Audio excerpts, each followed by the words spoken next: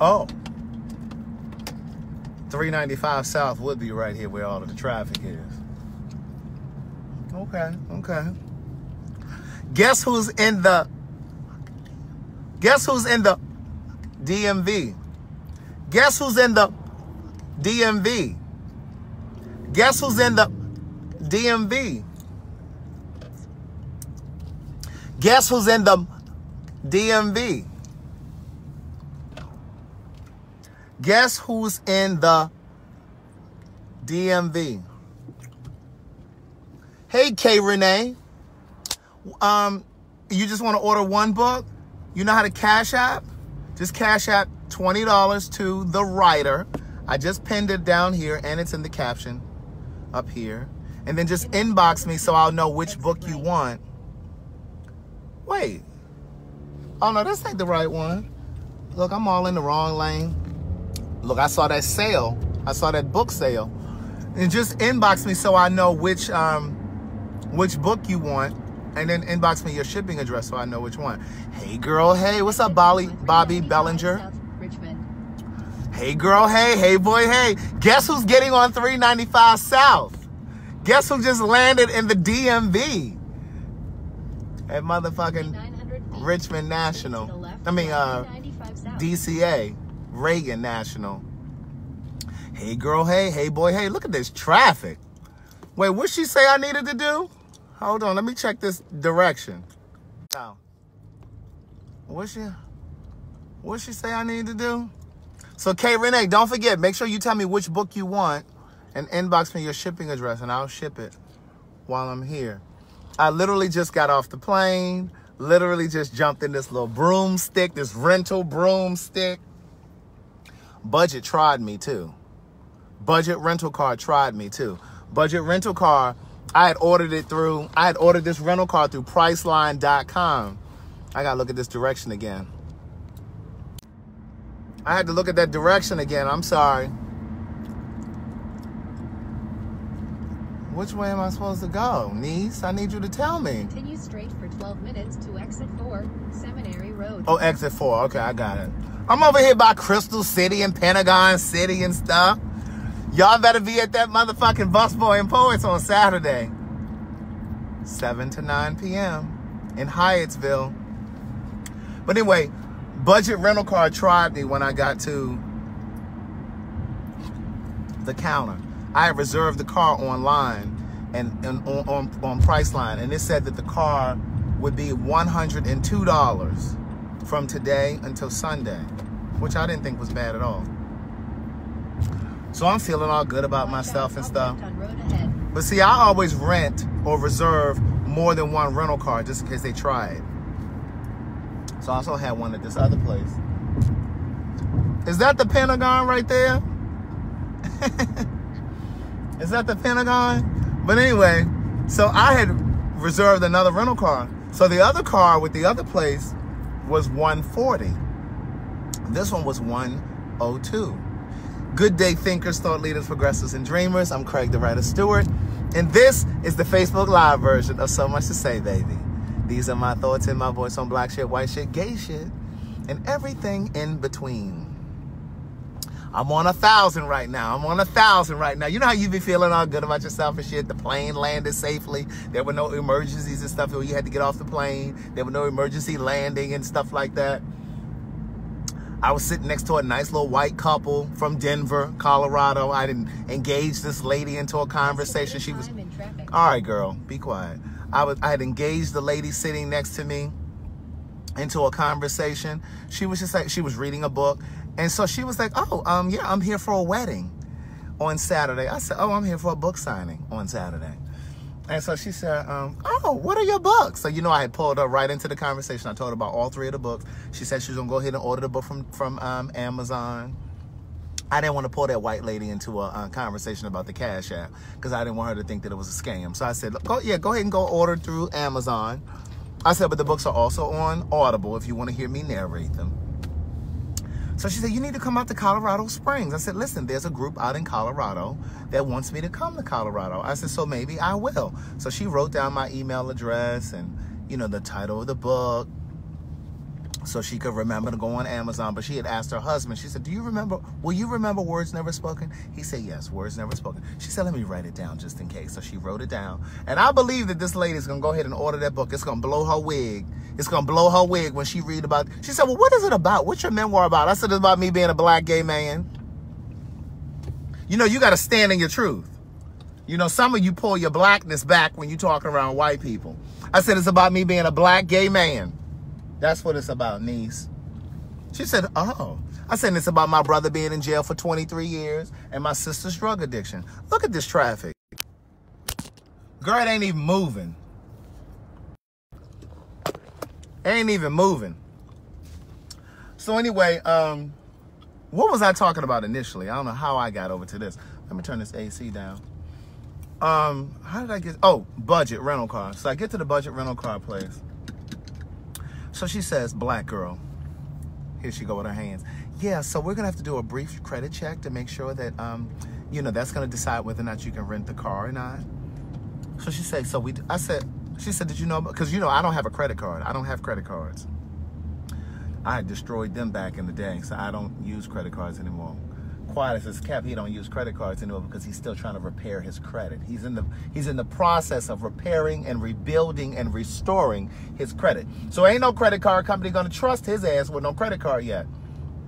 But you know, there's some people that try to act like they don't have credit cards just because they don't want one. No, I would like to have one. they just won't give me one right now. But that's okay because my date, my time is coming. But anyway, so right now I pay for cash for everything. So I gave her my little business debit card. You know the one that's connected to the go to the one that's connected to the GoFundMe that you guys have been supporting. Even though it's not Friday, you can still support the GoFundMe. It's at CraigTheWriterStewart.com.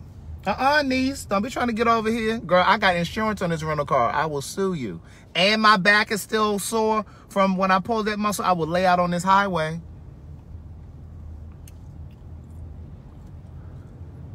So anyway, got to the counter, and she says, yes, we do a credit check. I said, y'all doing a credit check?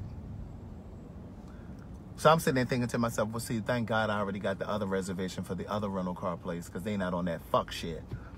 And see, here's the thing. When I reserved the rental car online, on Priceline, the only thing that it said was if you use a debit card, you have to they have to show they have to see your flight itinerary. That girl ain't asked me she didn't even ask me about my flight itinerary. And they said they take an additional $200. They put a two, an additional $200 hold on your card. And then they'll give it back to you once you return the car. She ain't say nothing about, they ain't say nothing about no credit check. So I said, y'all do a credit check? I said, no, I didn't know anything about that.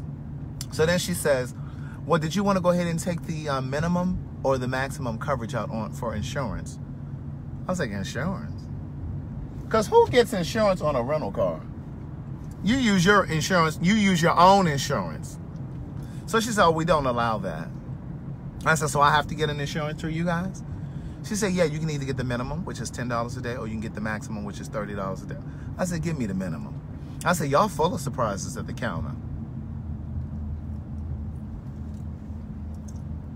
Y'all act like y'all don't know I clean up well when I have a haircut. I know I look like an aboriginal person from Tuesday to Thursday. I know I look like a, a, a, damn cave person, but y'all know what I'm capable of when I get this when I get this fresh line. Y'all already know what I'm capable of. Stop acting like that.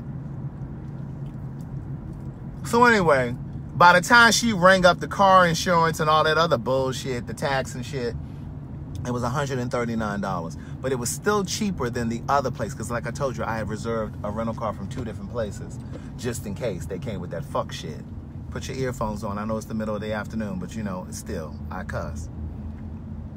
So anyway, it was still a few dollars cheaper than the other place. So I went on and reserved through budget. And so I went on and got the car and I ran out here and got in the car.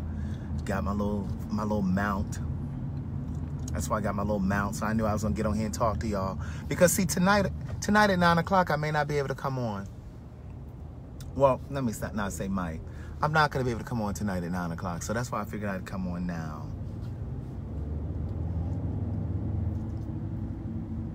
Go ahead and get it out. I know y'all gonna talk shit because I'm not gonna be able to come on at nine o'clock. But I'm on here now. Look at Lola. She yelled, why? Why you can't come on tonight at nine? Why? See, Petra, you gotta keep it, you gotta keep your earphones handy, niece. Cause you never know what I'm gonna say. Why y'all gonna listen? I'm on here now. You don't need me to come on at nine o'clock tonight. I need some privacy. I got a date. Isn't that that line from Tina Turner? What's love got to do with it? Look at Marcellus. What the hell are you gonna be doing that you can't? It ain't enough that I'm on here right now. I gotta come on at nine o'clock too. Jenifer Lewis said in the movie, she said, "Listen, I have a date. I need some privacy." Y'all know that line from the movie? Ooh, look at H Town. Look at H Town Henny talking about you must be with LTR at nine o'clock. Ah! H Town Henny said, you know what? You isn't your LTR in the DMV? Y'all, ooh, y'all so perceptive, practically psychic. Y'all very perceptive, practically psychic. Y'all something else.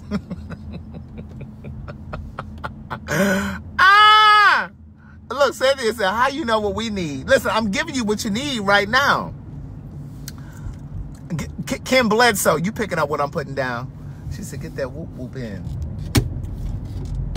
Listen, I got to build. I got to build. I can't just build on this career. I got to build on that personal life too, amen? I'm not standing you up, Rochelle. I'm on here now, niece.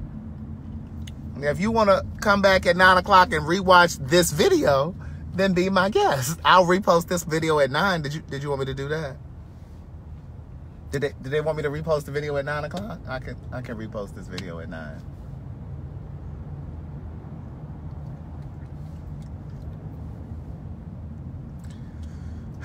Okay, Cynthia says she can't she can't sleep without her 9 p.m. fix. So I'm gonna go ahead and repost this video at 9.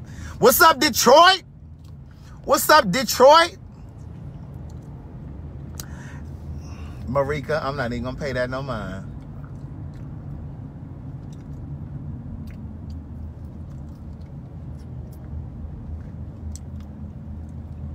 This is how white folks do when they don't want to be involved, when they don't want to be, when they don't want to be implicated, right? You know how, I've said this to you guys before, and that white people don't get sensitive because this is how y'all do. You know, like say for instance, you're somewhere and something happens. Let's say, you know, you're the victim of a crime or you were just involved in a car accident. And the only person that saw what happened was a white person. And you're like, ma'am, could you tell the, can you tell the police what happened? And they're, they're giving you this look like this. Like they don't want to get involved. And you're like, girl, you just saw what happened. And they're like, and you like, oh, this bitch, she trying to set me up. Thank you, Terry Davis. See, Terry says she has the good morning ringtone, the good day thinkers, thought leaders, progressives, and dreamers ringtone. That's available on iOS, Apple. She says so she can spare one night. She can spare one night without me. But what she don't know is that I may not be able to come on tomorrow night at 9 either. I'll be on tomorrow, but it might not be tomorrow night at 9. Y'all know how white folks do when they don't want to be implicated. They like, I'm not getting in that black shit with y'all. I don't want to give you my phone number. I'm not trying to be a witness to anything. And so they looking at you like, yeah, that look that, that, that look says, sorry for you, can't help. They looking at you like,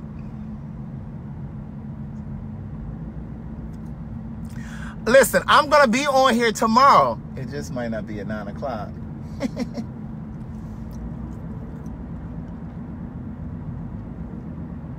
hey girl, hey, hey boy, hey, good day thinkers, thought leaders, progressives, and dreamers. I got my, my, my, my wallet that Bianca gave me for my birthday. I don't travel with it. What's she saying? The GPS, she whispering and shit. Do I have her turned down? Where's exit four? Hey, Mary Fong, Fong Kang. Is it Fong Kang? Mary Fong Kang. Is that exit four? Yeah, that's it right there. There's exit four. I'm hungry.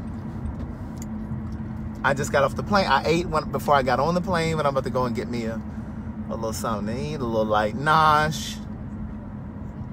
Girl, oh what? To the right to Seminary Road West. I forgot I had turned her down.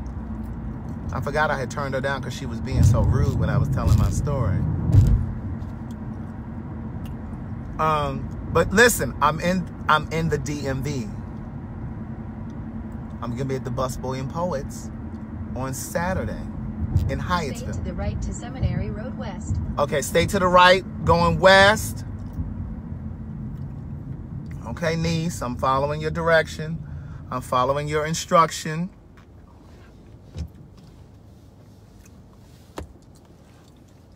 Dr. Young and I are meeting tomorrow. We're gonna have a little light lunch. And we're gonna go we're gonna go shopping tomorrow because you know our 20th anniversary. Hey Michelle um, Felton. And girl, stop all that yelling coming in here. What? Girl, I had to I had to look at that direction real quick because she wasn't talking. She Turn wasn't left. talking. Then turn left to Seminary Road West. Oh.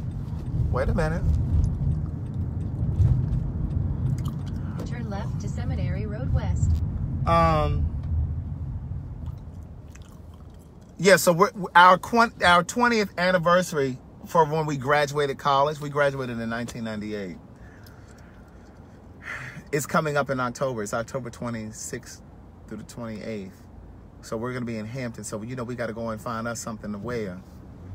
Because I have not been to my homecoming since 2001, and you know I cannot be going down there with the stuff that's in my closet.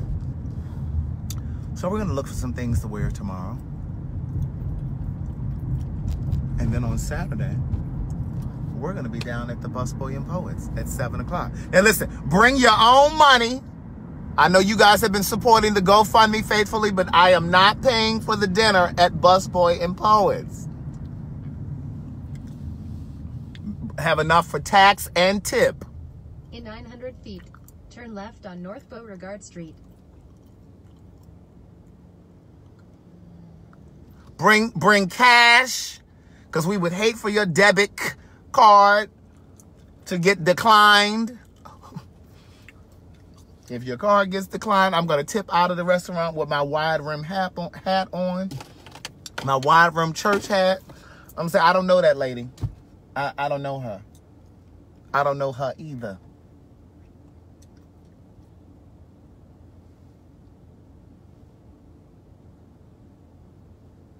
There's a white guy over here with his butt hanging out his pants, looking like he want to get tapped. Listen. Listen. Have your have your debit card or credit card or cash. Amen. You're welcome to bring whoever you'd like. It's open. Is this where I'm turning? Yes, this is it. I am starving. You ever get really hungry like right in an instant?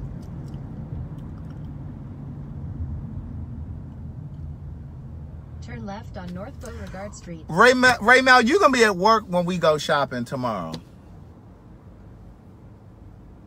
Ray Mel, you gonna be at work when we go shopping. Don't act like that. I've charged Dr. Young with the responsibility of finding a decent, excuse me, a decent vegan friendly or Half vegan mile. Turn right on Reading Avenue. vegan friendly or vegan restaurant for us to for us to eat in.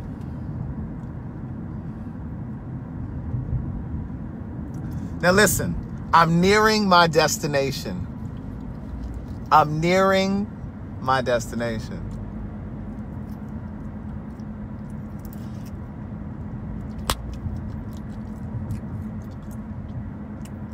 In 1,000 feet, turn right.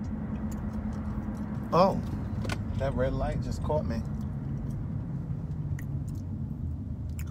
Dan Danetta, that's your Obama phone. Am I freezing for anybody else or is it just Dan Danetta's phone? Is it Dan Danetta's phone that's freezing up?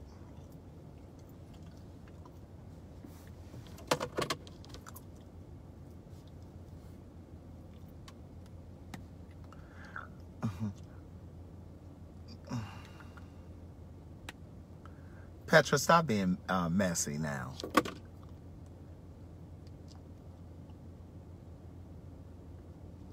Marie, Marie, Marie, Marie Jones.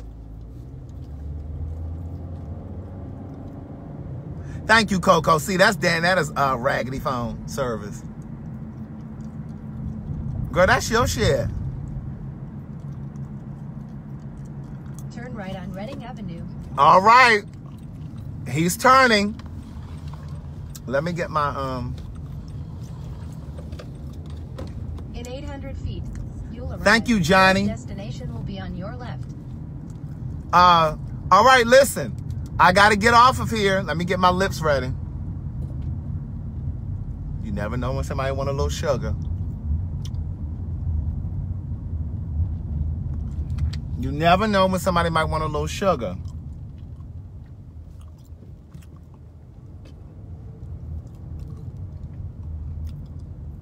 You've arrived. All right, so listen. Is on your left. I may not, I won't be available tonight, right? At nine o'clock. All right? So I just wanted to come on and say that I love you and that I appreciate you for supporting what I do. I had some orders that I was supposed to ship out today, but I didn't get a chance to before I jumped on my flight. So I'm going to ship them either while I'm here or as soon as I get back.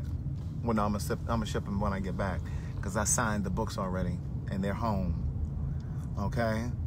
So I appreciate you guys with your patience. Okay? Remember, I had my little back issue, which is still a little tender. My back issue is still a little tender. All right. So you have, you guys have. Oh, look at this parking space right here in the front. Hmm. look at how, look how God works that out. Ooh, that back. Ugh. Lola, cut it out now. I'm gonna pull out my uh, switch and whip your behind. Cut it out. All that complaining. God said, "Be grateful. Be ye grateful." God, no, Danetta, you ain't gonna see me tomorrow. It's Saturday, girl. Today is Thursday. She talking about she gonna see me tomorrow. She be the only one sitting at Bus Boy and Poets. Talking about where's everybody at? She can be inboxing me. I'm like, girl, I'm at Tyson's Corner. What you doing at uh, Bus Boy and Poets? Girl, it's Saturday. It's Saturday, niece. Let me get my um wallet and stuff. All right, so let me um let me get out of here. I appreciate you guys. I really, really do. Thank you so much for supporting what I do. Listen, I'm gonna say this and then I'm gonna get off of here. I was thinking yesterday just how fortunate I am for all of you because and I know I say this all the time, but I just don't I don't think that I can ever say it enough. And part of me saying it to you is to offer my appreciation, but more so to honor God. Because I always promised him, one of my prayers used to be, one of my prayers to God used to be, make me effective. Use me, use my work, use my gift, use my light. I'm all in the middle of a, a powerful moment, and here go my brother calling me on the phone. So anyway, I used to pray, use my light, make me effective, use my gift, right? I I I hate when people call me back to back like this. Stop doing that shit. But I used to say, make me effective, use my light, use my gift, and do not bless me with it until I'm ready. But more importantly, do not bless me with it until I can appreciate it. Do not bless me with it if I'm going to levitate, if my head is going to get too big, if I'm going to come up off the ground. Don't give it to me until I'm ready. So I'm so appreciative. And I think the reason why gratitude oozes from me is because that was a part of my prayer. Don't give it to me until I'm going to really appreciate it. If I'm not going to appreciate it, if I'm going to take it for granted, hold it from me until I'm going to be grateful for it. And so I always want to say to you that I'm grateful, that I'm thankful because I was thinking yesterday or today, it was I think it was yesterday. The way that I'm buying up these plane tickets to come to see y'all black asses. like that's unreal to me. It's unreal to me. I'm looking because there's people walking and shit. And, you know, I'm not in my familiar environment. So I'm looking to see who's, you know, because I see some Africans walking. I see some uh, uh, Muslim folk with garb on walking. I see some white folk. I see a bunch of people. walk. So, you know, I got to make sure. I got to see who's who. So I'm so grateful because as you know, it's become so busy for me right now. You know, like I was just in Baltimore, then I was in Jacksonville or in, in Charlotte or somewhere. But I was in Baltimore, Charlotte, Jacksonville, LA. Now I'm in Maryland. Friday, not tomorrow, but next Friday, I'll be in um, Charleston. And then the day after that, next Saturday, I'll be in Greenville, South Carolina.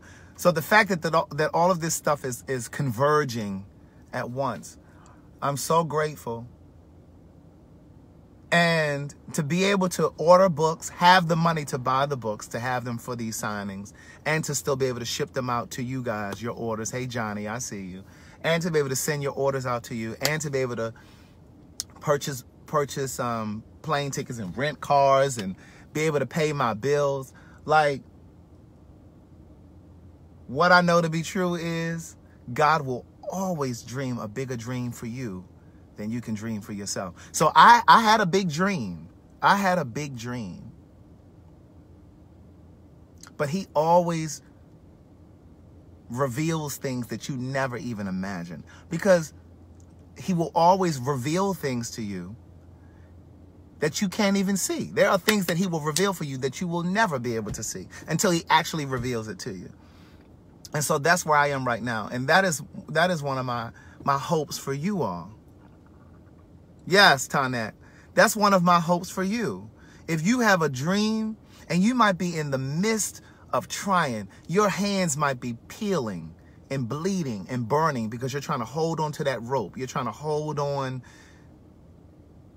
to possibility. And you want to let it go because it's burning. But I'm here to tell you, listen, I was holding on to that rope for so long.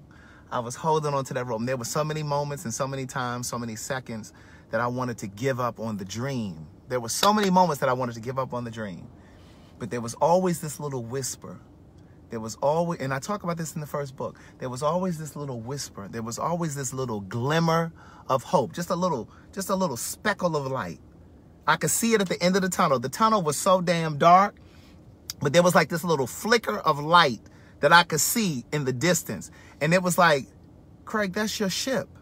That's your ship coming in. It's going to come. Now, I don't know, you don't know where or when that ship is going to finally set sail, but you just have to be able to see it. And if you can see it, you can have it. And that's not just about your career. That's about love. You may be wanting to have children. And the doctor could have told you, listen, niece, you're not going to be able to have kids.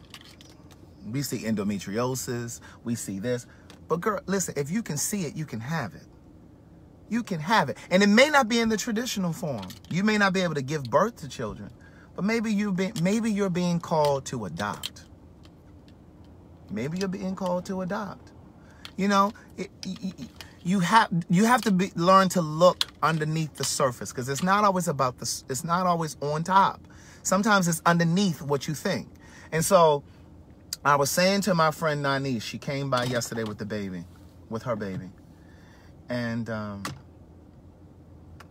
I was saying to her, Nanis, I didn't dream this stuff was going to happen. Like the way that you guys send me gifts, the way that you just send money indiscriminately to my Cash App or to the GoFundMe. You do that even when I don't come on here and, and promote or push it. You guys do that at your own volition, at your own volition, your own free will. I'm grateful for that.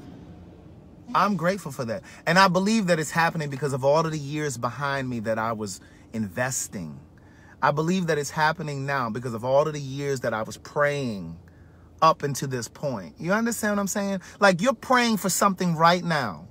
It may take three years, the gestation period for that dream or that prayer to be birthed. It may take three more years from now. But that you keep praying. Keep praying because eventually it has to come. It ha- listen, that's the law of reciprocity. Whatever you put into universe, it has to come back. Life would be unfair if it didn't. And see, you have to hold God accountable. You say, God, now you said That's what I used to say to him. I'm like, now God, you told me to go ahead and write these books. You told me to go ahead and, and, and be and journey as a writer. You told me to do this stuff. So I'm expecting you to deliver. That's how I used to talk to God. That's how you got that's how you got to talk to him. And you say to him, I don't know when it's going to happen. But it's the law of attraction, yes, but it's also the law of reciprocity. Whatever you put into the universe, it has to come back. It's like a boomerang. Whatever you throw out, it has to come back. So you may be going to meetings, sending emails, making phone calls, and nothing's coming back right now. But I promise you, it's an investment. It has to come back eventually. It may be three months from now. It may be three years from now, but it's coming back. And it may not come back from the person that you're calling. It may not come back from the person that you're, that you're, that you're, whose attention you're trying to get to. But it's going to come back. It has to come back because it's like a boomerang. Whatever you throw out, it has to come back. That's goodwill. That's good intention. And it's also evil. Now, if you, if you walk around here being old nasty, neffy, Oh, that comes back too. That comes back too. So I just wanted to take another moment to say to you that I appreciate you. I'm really, really grateful to God. I'm so grateful that um, I didn't quit, that I didn't give up. Look, Dan, that's the, Dan out of time, she frozen. Girl, girl, she did, she didn't got froze in the in the highest part of the testimony, child. Child, girl, she don't cut, if she don't throw the entire phone and service away, Girl, just get you a new phone and then come back and listen to the video, girl. Girl, her, oh, child, she yelling her shit frozen.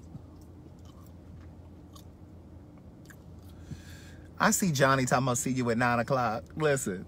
But listen, I just wanted to say that to you guys. So I I don't want you to think that I, I, I always want you to know that I appreciate you. I always want you to know that. And so what I was saying to my friend Nanish yesterday, let me finish that.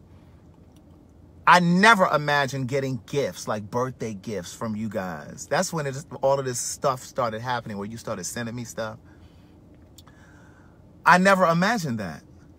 Um, and then the stuff that Tonette sends and Dr. Young sends and Carol Cole has sent, Bianca and Michelle Yates and all of you that have sent me stuff. You know what I'm saying? I'm just don't get offended if I didn't say your name. Many of you have sent me things. I appreciate it all and I keep it all. I keep it all. I haven't mentioned the stuff that, like Tonette sent me so much stuff. I'm using all of that stuff constantly. Thank you, Cynthia. Cynthia has sent me stuff. Yeah, Cynthia sent me that um, that copper grill, you know, and she sent me some other stuff too, paprika, but um, and that and that that that lime sauce or stuff that I like. But you know, I'm always using this stuff. But I, I appreciate you guys doing it. I really, really do. I don't take it for granted. It's not just laid up in the cabinet or closet. I use that stuff. So, um, thank you very much. Thank you for supporting what I do. Yes, that, the Tajín. All right. So you guys have an amazing night. I, I did my oil pulling. I used that charcoal, um, toothpaste that Tonette just sent me and the, um, mouthwash. I love you guys too. I really, really do. I used to wonder, like, why do people say that they love somebody that they don't know? I don't know y'all, but I do love you. I love your support, and I love you for being here. I really do. Reciprocity, that's a good one. All right. So thank you so very much. I appreciate you. And I'll and I'll pop in here. I'll pop back in. All right. Have fun. Hang in there whatever it is that you're going through, hang in there. If you're holding on to a dream, if you're holding out for love or children, just hang in there. You got to keep trusting. You got to keep trusting. All right? Bye.